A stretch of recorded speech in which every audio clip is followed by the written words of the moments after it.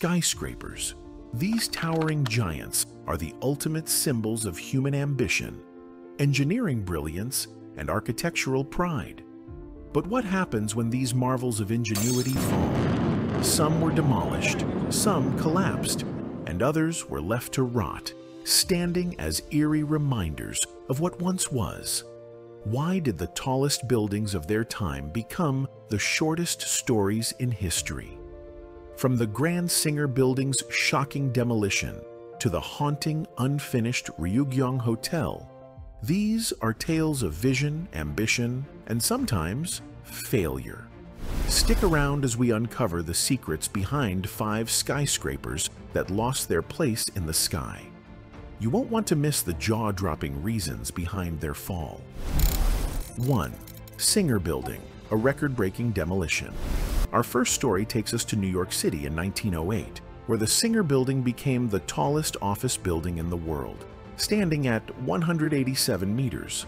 Designed by Ernest Flagg, it was a masterpiece of Beaux-Arts architecture, combining intricate design with a soaring tower that dominated Manhattan's skyline. But its height couldn't save it from obsolescence. By the 1960s, its narrow floor plan couldn't keep up with modern office demands. The building was demolished in 1968, making way for the 226-meter U.S. Steel Building. This made the Singer Building the tallest skyscraper ever intentionally demolished, a record that still stands.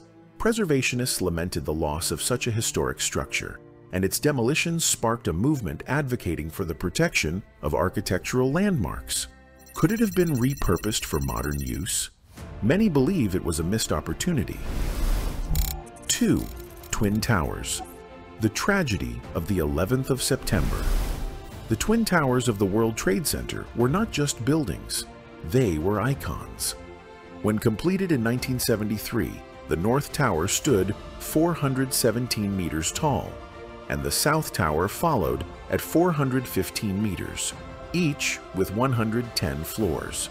They were designed by architect Minoru Yamasaki, who pioneered the innovative tube frame design, allowing for open floor spaces without traditional load-bearing walls. On September 11, 2001, the towers were brought down in one of the most devastating terrorist attacks in history. Investigations revealed that while the towers were designed to withstand airplane impacts, the intense heat from burning jet fuel weakened their steel cores, leading to catastrophic collapse. This tragedy didn't just change the world, it also reshaped the way skyscrapers are designed. Buildings are now constructed with advanced fireproofing materials, better structural reinforcements, and improved evacuation protocols.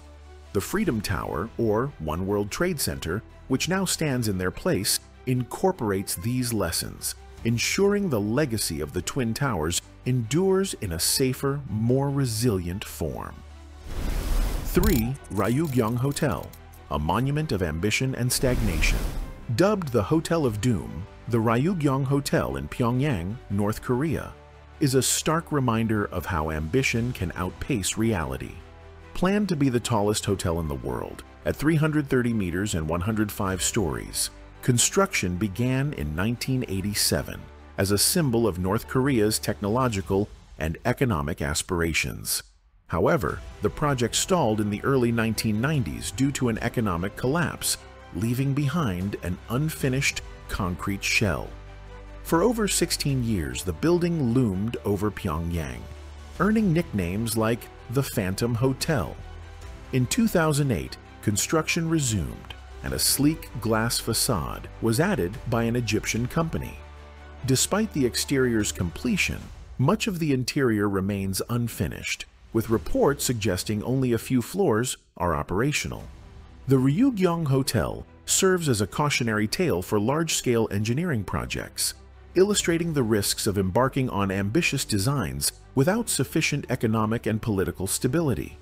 It remains an iconic yet haunting reminder of unfulfilled potential. 4. CITIC Plaza a lightning controversy. CITIC Plaza in Guangzhou, China, was completed in 1997 and briefly held the title of the tallest building in Asia at 391 meters. Its innovative design combined reinforced concrete and steel, achieving remarkable height and resilience.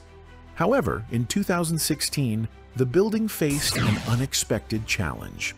A series of lightning strikes damaged its facade, causing glass panels to fall and raising serious safety concerns.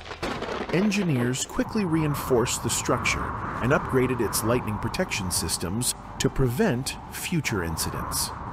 This controversy highlighted the need to consider environmental factors like extreme weather when designing modern skyscrapers, especially in regions prone to such events. CITIC Plaza now in need for innovation and adaptability in skyscraper engineering. 5. John Hancock Tower, a shaky start. The John Hancock Tower in Boston, completed in 1976, is a 60-story, 241-meter modernist skyscraper known for its sleek, reflective glass facade. Designed by Henry N. Cobb, it was an architectural marvel, but its early years were riddled with engineering failures. Shortly after completion, glass panels began detaching and crashing to the streets below. The problem? Engineers underestimated how thermal expansion and wind pressures would affect the adhesive holding the glass. To fix the issue, all 10,344 windows were replaced at an enormous cost. And that wasn't all.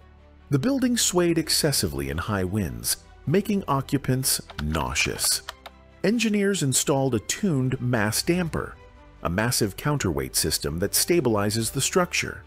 Despite its shaky start, the John Hancock Tower overcame its issues and is now considered an iconic part of Boston's skyline.